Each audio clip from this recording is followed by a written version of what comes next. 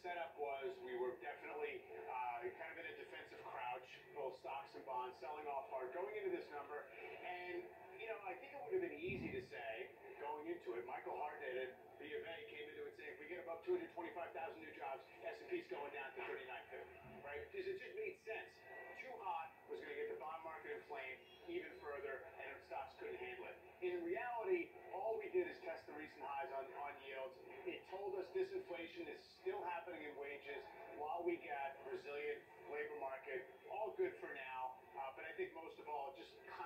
opened up that window for an oversold market to have this nice snapback and definitely a chase for the biggest index names to get exposure. That's another feature of this rally. Now, you know, doesn't guarantee anything about a soft landing, but you can't have a soft landing